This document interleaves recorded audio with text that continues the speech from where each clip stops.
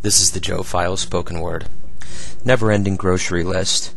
I used to have the idle time and devotion to carry a small, paper filled journal around in my back pocket to jot down ideas and stories while roaming throughout my day.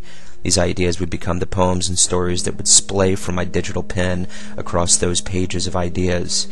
Those days have flown into a hibernation cave as the new journal is filled with ideas like milk, eggs, rice, salad, chicken, trash bags, creamer, plastic sporks, saran wrap, bread, cola, cheese, and the like. Page after page of grocery lists come up through my nose and out of my eyes as I pace the aisles of the local shopping store. All these ideas cost me money and are consumed by the family in swift, precise intervals. They are divulged in ways my poems and musings hardly are, and it's just hard to write about one egg or two trash bags or a bag of cheese, or is it?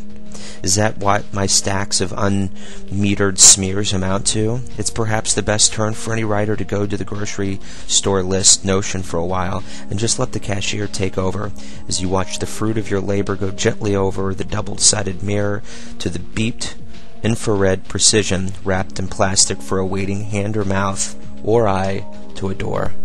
Want more? Go to DiminoWeb.com, the home of time wasting.